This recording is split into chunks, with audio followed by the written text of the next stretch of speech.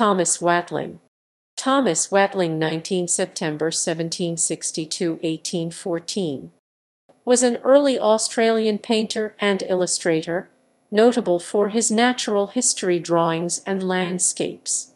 Early life and education. Born in Dumfries, Scotland, he was raised by his maiden aunt, Marion Kirkpatrick, after both parents died in his infancy. Art featured in his education, and he went on to form his own academy, where he taught drawing to ladies and gentlemen. In Glasgow, worked briefly as a coach and chaise painter before being charged with forgery in Dumfries on 27 November 1788. Conviction and transportation to New South Wales.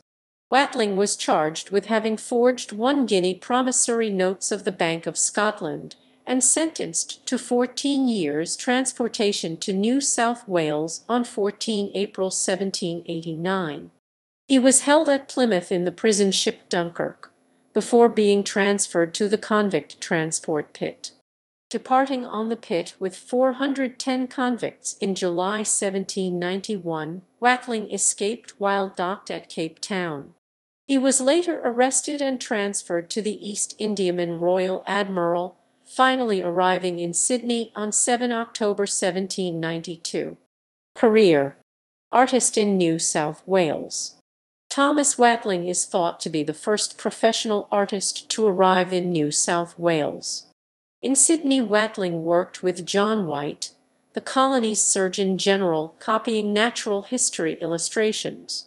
In 1796 he was given a conditional pardon by the colony's second governor, John Hunter, made absolute on 5 April 1797.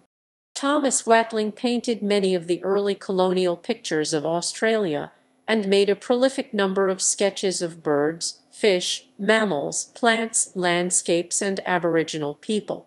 One painting that was attributed to him, a direct north general view of Sydney Cove 1794, is the earliest known oil painting of Sydney.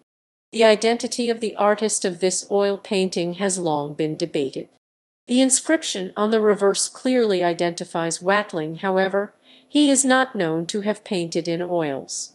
The canvas is dated 1794, and there is no record of any colonial artist using oils until 1812, by which time Watling had received a pardon and returned to Britain.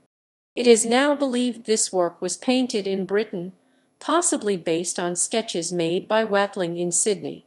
This work now belongs to the Dixson Gallery, State Library of New South Wales.